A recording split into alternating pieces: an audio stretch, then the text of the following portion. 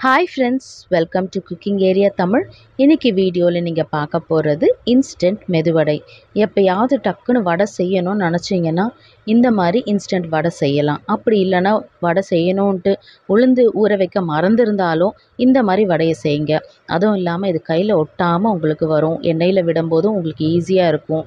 இந்த மாதிரி உங்களுக்கு இந்த வீடியோவில் எல்லாமே கொடுத்துருக்கேன். ஸோ வீடியோவை ஸ்கிப் பண்ணாமல் பாருங்கள் நீங்கள் லைக் பண்ணுங்கள் ஷேர் பண்ணுங்கள் சப்ஸ்கிரைப் பண்ணுங்கள் இந்த டேஸ்ட்டும் ரொம்ப சூப்பராக இருக்குங்க. ட்ரை பண்ணுங்கள் ஒரு வாட்டி.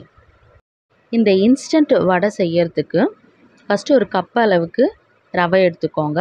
நான் இந்த அளவுக்கு யூஸ் பண்ணியிருக்கேன். அதுக்கப்புறமா அதே கப்பில் கால் கப் அளவுக்கு வெள்ளை அவலும் சேர்த்துக்கோங்க. இது ரெண்டுத்தையும் வந்து நம்ம மிக்ஸி ஜாரில் போட்டு இந்த அளவுக்கு மாவை அரைச்சிக்கணும். இப்போது இதை வந்து இன்னொரு கிண்ணத்தில் நம்ம ட்ரான்ஸ்ஃபர் பண்ணிடலாம். இப்போ இந்த மாவில் வந்து நம்ம தண்ணி சேர்க்கறதுக்கு பதிலாக தயிர் சேர்த்துக்கலாம். அப்போ தான் வந்து இந்த டேஸ்ட்டும் நல்லாயிருக்கும் ஸோ இந்த மாதிரி தண்ணி அளவு இருந்தால் போதும். அந்த தயிருக்கு ரொம்ப கெட்டியாகவும் இல்லாமல் ரொம்ப தண்ணியாகவும் இருக்கக்கூடாது. இந்த அளவுக்கு இருந்ததுன்னா போதும்.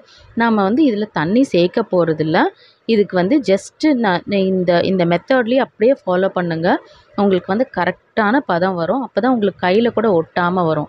ஸோ இந்த மாதிரி கலந்துகிட்டே இருந்தீங்கன்னா நல்லா ஸ்மூத்தாக வந்துடும் இந்த மாவு. ஸோ இது வந்துட்டு அப்புறமா கொஞ்ச நேரம் நம்ம அப்படியே தான் வைக்கணும். ஒரு பத்து பதினஞ்சு நிமிஷம் வரைக்கும் நீங்கள் அப்படியே மூடி வச்சுட்டு மற்ற இதெல்லாம் நம்ம ரெடி பண்ணிக்கலாம். இப்போது இரநூறு கிராம் அளவுக்கு உருளைக்கிழங்கு எடுத்துகிட்டு இதை வந்து நல்லா பாயில் பண்ணிவிட்டு இந்த தோலெல்லாம் கூட சீவிட்டு நீங்கள் ஒரு தட்டில் ஆற வச்சுருங்க. அப்போ தான் அதில் இருக்கிற தண்ணியெல்லாம் கூட ஆறிடும். அதுக்கப்புறமா நீங்கள் இந்த மாதிரி மசிச்சிடணும். அப்படி இல்லைன்னா இந்த மாதிரி துருவி விட்டுருங்க. மெயின் என்னென்னா நமக்கு நல்ல ஸ்மூத் டெக்ஸ்சராக வரணும். அதனால தான் இந்த மாதிரி பண்ணுறது எங்கேயும் கட்டி கட்டியாகவும் இருக்கக்கூடாது. இந்த டெக்ஸ்சர் ஒரு வாட்டி பாருங்கள் இப்போ நம்ம இப்படி மசிச்சு விட்டோன்னா கையில் நசுக்கி விட்டால் கூட எந்த அளவுக்கு ஸ்மூத்தாக வருது? இந்த மாதிரி இருக்கணும். இப்போது இதுவும் இந்த ரவையும் நல்லா ஊறிடுச்சு. இந்த மாதிரி இருக்கும் இப்போது இதில் வந்து இந்த உருளைக்கிழங்கை நம்ம சேர்த்துக்கிறோம். இதை வந்து நல்லா அப்படியே ஸ்மூத்தாக பண்ணிவிடுங்க அப்படின்னு நம்ம போடும்போதே கொஞ்சம் நசுக்கின மாதிரி போட்டிங்கன்னா இன்னும் ஸ்மூத்தாக வந்துடும் இதை வந்து இந்த ரவை ஊறின ரவையும் உருளைக்கிழங்கையும் வந்து நல்லா நீங்கள் மிக்ஸ் பண்ணி விடணும் எங்கேயும் அங்கங்கே இருக்கிற மாதிரி ப இருக்கக்கூடாது. நீங்கள் அந்த அளவுக்கு நீங்கள் நல்லா பிசைஞ்சு விட்டுருங்க. இப்போது இதில் வந்து இனிமேல் தண்ணியெல்லாம் எதுவுமே சேர்க்க தேவையில்ல.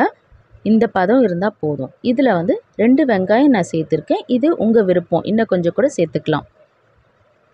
அதுக்கப்புறம் இஞ்சி இஞ்சியும் வந்து துருவி அதுக்கு அதில் சேர்த்துக்கோங்க. இல்லைன்னா சின்ன துண்டாவது பண்ணிவிட்டு பண் போட்டுக்கலாம். பச்சை மிளகாவும் காரத்துக்கு ஏற்ற அளவு. அப்புறம் கருவேப்பிலை கொத்தமல்லி.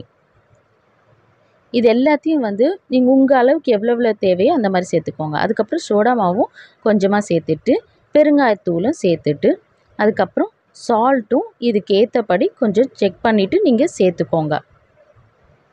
இது எல்லாத்தையும் திருப்பி கலந்து விட்டுருங்க. இப்போ வந்து நம்ம எங்கேயுமே தண்ணி சேர்க்கலை.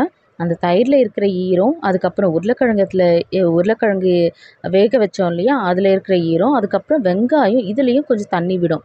ஸோ இதெல்லாம் சேர்க்குறது இந்த தண்ணியே போதும். ஒரு வேளை உங்களுக்கு வந்து ரொம்ப கெட்டியாக இருக்கிற மாதிரி தோணுச்சுன்னா நீங்கள் வந்து லைட்டாக தண்ணியில் கையை அப்படி தடவிட்டு அந்த ஈரம் போதும். உங்களுக்கு நீங்கள் அந்த பால்ஸ் பண்ணி வடை செய்கிறதுக்கு நிறைய தண்ணி ஊற்றிட்டிங்கன்னா இன்னும் கொஞ்சம் தண்ணி ஊற்றுனீங்கன்னா உங்களுக்கு வடை வந்து நல்ல ஆயில் இழுக்கும்.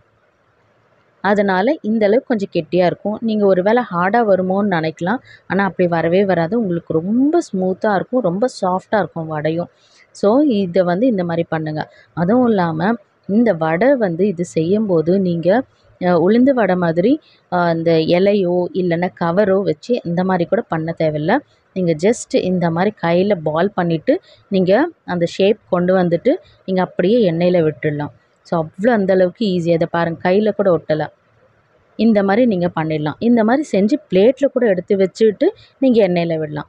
ஸோ இந்த இது செய்யறதுக்குள்ளேயே நீங்கள் எண்ணெயும் சூடு பண்ணிவிடுங்க ஸோ எண்ணெயும் நல்ல சூடாக இருக்குது பாருங்கள் இந்த மாதிரி பிளேட்டில் எடுத்து வச்சுட்டு ஏன்னா சம்டைம்ஸ் வந்து நல்லா எண்ணெய் சூடாகும். ஒவ்வொரு தடவை நம்ம செஞ்சு அந்த ஷேப்பு செஞ்சு இது போடுறதுக்கு டைம் ஆகும் இல்லையா? அந்த மாதிரி இல்லாமல் இந்த மாதிரி பிளேட்டில் பண்ணிவிட்டு நீங்கள் இந்த மாதிரி சேர்த்துக்கலாம்.